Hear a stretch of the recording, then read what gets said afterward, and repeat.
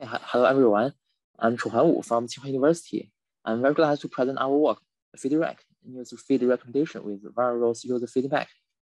And in this work, we study how to utilize heterogeneous feedbacks of users on the online news feed platform to help better model user interest and better train the recommendation model. So in recent years, personalized news recommendation is very important for various online news platforms. And, this, and personalized news recommendation techniques have empowered this platform to provide personalized newsfeed recommendation and uh, to better accommodate user information needs.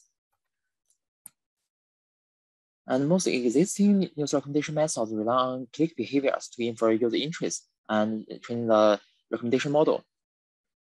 For example, in many existing methods, you already infer user interest from the historical clicked news and then match the candidate news with the user embedding inferred from the click, click news. So we, we observe that usually click is sufficient for model user interest because click behaviors are implicit and usually very noisy. As mentioned in the previous talks, we, we can also confirm that the click behaviors Uh, are too noisy to accurately model user interest. And in practice, uh, many news are, uh, can be clickbaits, and these news may not be so informative, but are attractive to users. So if users are attracted to click, but are not may not be satisfied by the, the content of news. And in addition, many user interests such as like and dislike cannot be indicated by the implicit click feedbacks. And this, these various kinds of user interests are very important for improving the user engagement on the news platform and provide and providing high quality news feed recommendations. So users on news feed platforms usually have various feedbacks, and some of them are explicit and some of them are implicit. For example, the explicit feedback such as such as share and dislike are very strong, uh, although they can be somewhat somewhat sparse. In addition, the click and skip feedbacks are usually implicit feedbacks, and this kind of feedbacks are usually uh, very, very abundant but these behaviors are usually also very noisy. And different from this implicit weak, weak feedback and explicit feedback, there are also some implicit strong feedbacks constructed from the user behaviors. For example, users may would like to finish reading the article if they are really interested in, really interested in, and if users are only attracted by the title but are not satisfied by the content, they may close the web page very quickly and leave the news feed platform.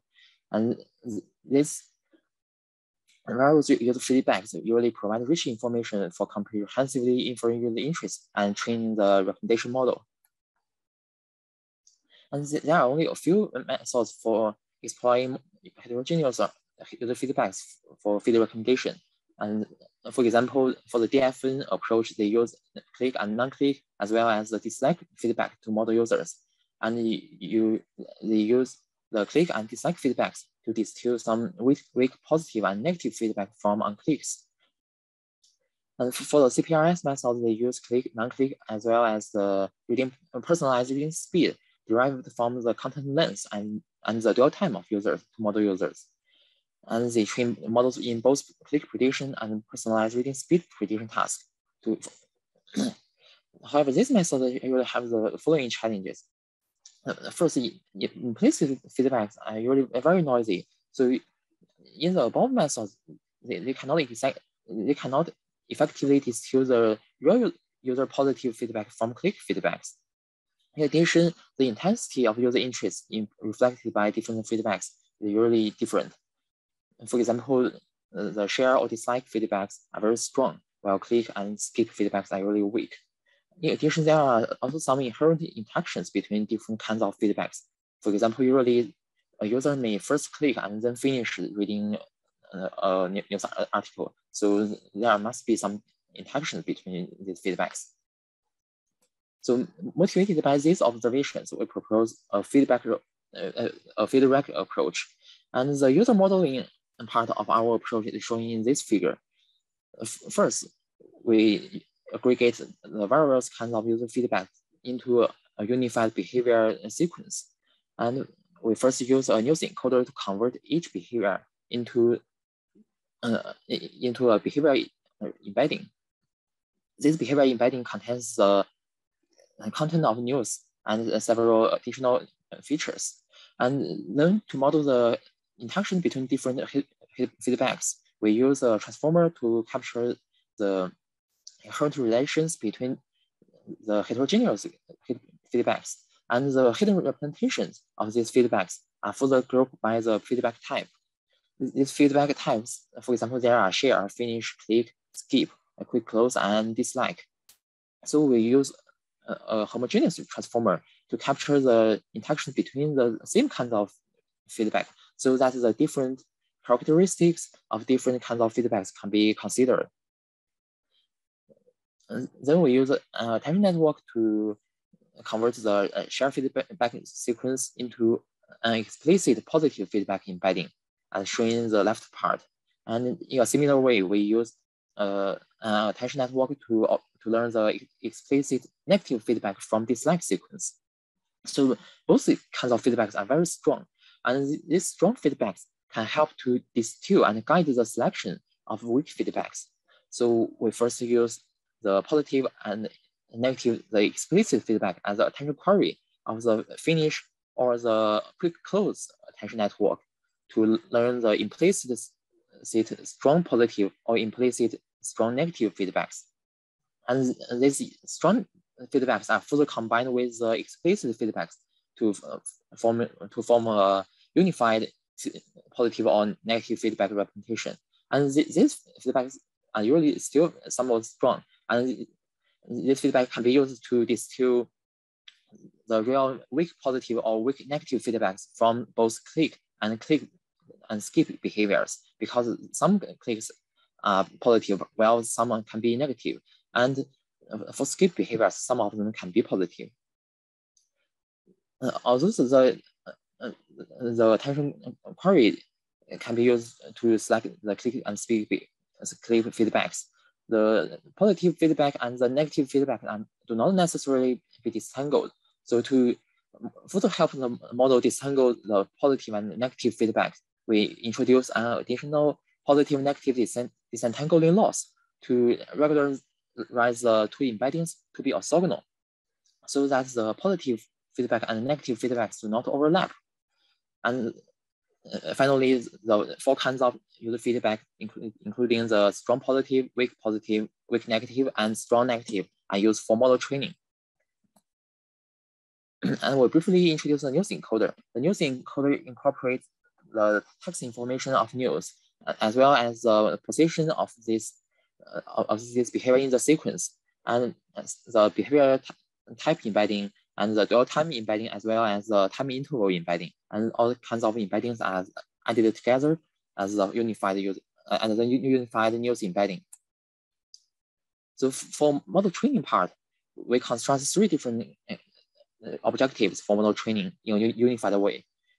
So for in common model training methods, the, the task is the click prediction task. And here we introduce two additional tasks. One is the additional finish prediction prediction task. And this, this task aim to predict whether a user will finish reading a clicked news. And the second one is dwell, time prediction. And this uh, task aim to predict the dwell time of user on a clicked news so that the model can be aware of the, the satisfaction of the user on the news. So all the three types of loss function are jointly optimized. And the final loss function is also combined with the previously discussed the disentangling regularization. And we use three coefficients alpha, beta, and gamma to control their relative importance. And these are hyperparameters. So our, uh, we conduct experiments on a data set collected from the Microsoft News app. And this data set contains 10,000 of users.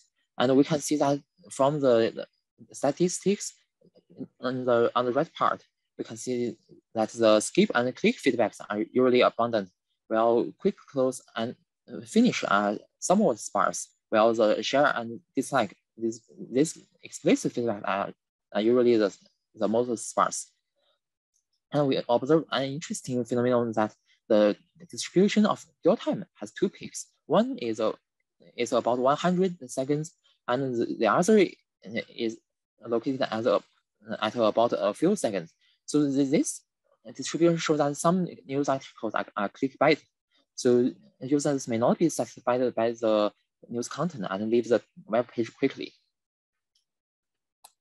So in our experiments, we compare different methods in terms of two groups of metrics. And the left table shows some click, re click related metrics. And the right table shows the user engagement re related metrics. So we can, from the results, we can see that incorporating multiple kinds of user feedbacks usually have improvements in terms of, of both news clicks and user engagement. And our approach can achieve the best performance in, term, in terms of all metrics, especially some important metrics such as share, dislike, and finish I, are mostly I, I improved the most. And then we conduct some several ablation studies on the different types of feedbacks. We remove one of one of kind of the feedback from the model and see the, the model performance. We find that although uh, some strong feedbacks such as share dislike are very strong, uh, the sparsity of these feedbacks makes uh, their limited contribution to the final performance, while the most abundant skip and click feedbacks have the major contributions to the model performance improvements. And we also ex explore the effectiveness of the core model architectures. So we remove the homogeneous transformer that captures the interaction between the same kinds of feedbacks and or remove the the strong to weak attention that, that use strong feedbacks to uh, to select the, the weak feedbacks and or remove the heterogeneous transformer that captures the interactions between different kinds of feedbacks. So we, we find that also the core models uh, uh are informative for our approach, and they all have different, uh, more or less contribution to the performance improvements. And we also study the influence of different loss functions. We find uh, that also the loss functions have the contribution to our approach. Since we cannot remove the click prediction loss, so we, we study the performance by removing the finish prediction, dwell time prediction, or the disentangling loss. So we find that the disentangling loss has the most important contribution to the model performance. This shows that distilling high quality positive and negative feedbacks are important for newsfeed recommendation. And we also study the influence of different kinds of embeddings. So the uh, we, we can see that by removing different kinds of embeddings, the performance all has Uh, some uh, a little job. So, but, but for the most important part is the feedback in type embedding. This is aimed to indicate the the type of the feedback. So this this part particularly has the most important contribution. And we also have uh, some parametric analysis. First, we study the the time threshold to construct the quick close the feedback. The quick close feedback we use is defined as uh, the use click behaviors if their dwell time is less than 10 times 10 seconds. So as shown in our previous statistic figures, we can see that the, the, the first peak appears at the, the about the, the threshold is about less than 10 seconds. So we can see that if we set the threshold to 10 seconds, the performance is the best. So we think it's, it's properly to you use 10 seconds as a threshold to cut the click behaviors and construct the quick close feedback. And finally, we discuss the influence of the loss coefficients. We find that uh, uh, using a moderate loss coefficient are usually preferable for our method. For example, the 0 0.3 for alpha, 0 0.15 for beta, and 0. Uh, 0.15 to 0.2 for gamma.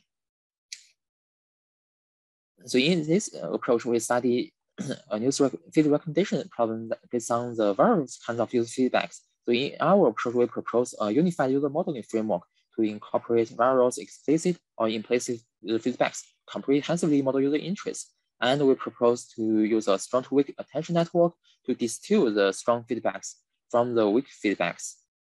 So to distill the, sorry, to distill the, the, the positive or negative feedbacks from the weak implicit feedbacks. And we also use a multi-feedback model training framework to learn engagement aware recommendation model so that we can recommend news that are not only clicked by users, but also are satisfied by the users. Okay, that's all. Thanks for your attention. And is there any, any questions? Uh, thank you, Chuhan, for a very interesting talk. Uh, we have time for for some questions. Audience, please feel free to to post questions in the in the chat.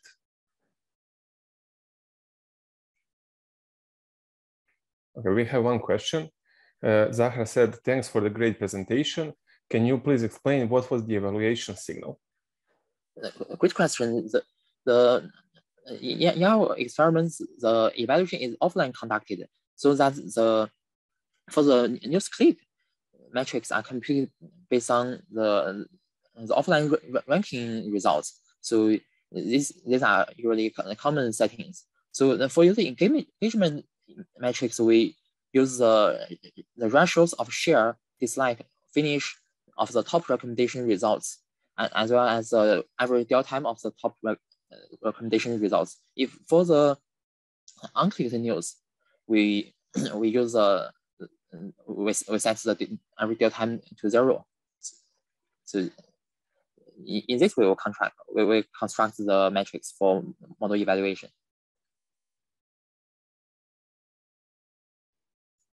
Uh, thank you. Um, are there any are, are there are there any any scalability concerns if you want to apply this method to some bigger data sets? Uh, okay, I think it, it is okay to uh, apply the pro proposed approach to bigger data set because the structure of our model is is two tower. So we can uh, first in on in the online inference stage we can first infer the user embedding from the behavior sequence and then cache these user embeddings. And we can directly use the user embeddings to evaluate, evaluate their relevance to the candidate news embedding to compute the click scores for ranking. So uh, I, think our approach is, is feasible in uh, some users in a, a large data set and even in a low, low latency scenario.